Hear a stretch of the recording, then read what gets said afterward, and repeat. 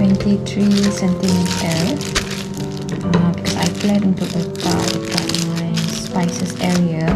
So my spices area tu dia agak kecil sikit.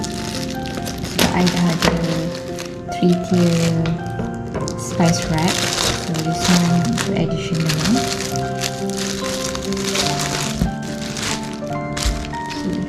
So this one dia boleh pusing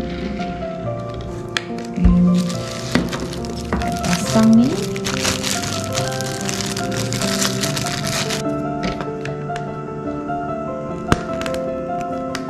Okay, so ini saiz 23 Ini saiz 25 Nampak tak perbezaan dia. Okay. Tapi dua-dua ah, Pusing dengan okey dengan baik lah Alright, so cuma yang ni dia saiz besar sikit. So ada tak muat untuk letak dekat tempat yang I nak letak tu